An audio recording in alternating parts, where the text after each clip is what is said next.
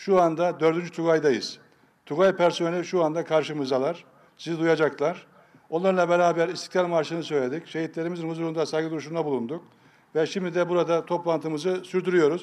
Eğer müsaade edersen mikrofonu tutuyorum ben. Gerek e, Sayın e, Bakanım gerekse Genelkurmay Başkanım, kuvvet komutanlarım ve bütün şu anda erbaş, er, subay, az subay, bütün kardeşlerimi şahsım, milletim adına en kalbi duygularla selamlıyorum.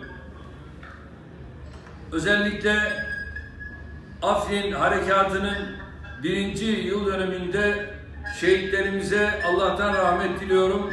Gazilerimize Allah'tan şifalar temenni ediyorum.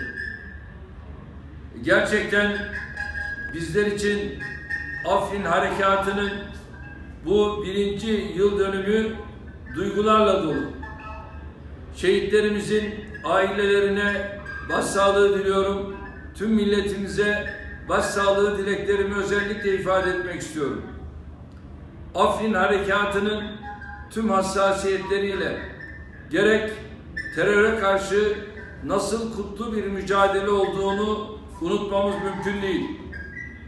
Gerekse Afrin'de verilmiş olan mücadelenin hatıralarımızda unutulmaz bir yeri olacaktır.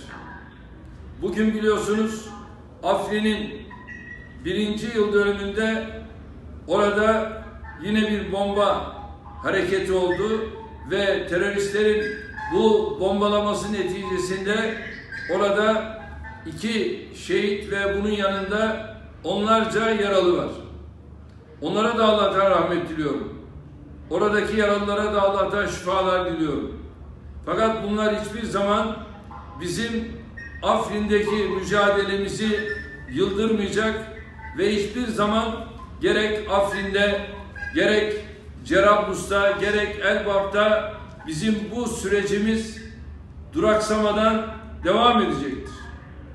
Bunlar Türk askerini, Özgür Suriye ordusunu durduramayacağı gibi burada tüm Suriyeli kardeşlerimize bir an önce özgürlüklerine kavuşma imkanını da getireceğiz. Suriye'nin toprak bütünlüğü artık bizim teminatımız altındadır ve burada herhangi bir bölmeye asla müsaade edilmeyecektir. Bildiğiniz gibi yaralılar şu anda Hatay'da tedavi altındadır. Bu tedavi devam ediyor ve şu anda gerek silahlı kuvvetlerimiz gerek Özgür Suriye ordusu el ele vermek suretiyle bu mücadeleyi sürdürmektedir. Ben şu anda sizleri ordudan selamlıyorum ve gerek Savunma Bakanım, Genelkurmay Başkanım, kuvvet komutanlarım, tüm subay, az subay, tüm uzman başçavuşlara hepsine en kalbi selam sevgilerimi gönderiyorum ve mücadeleniz kutlu bir mücadeledir.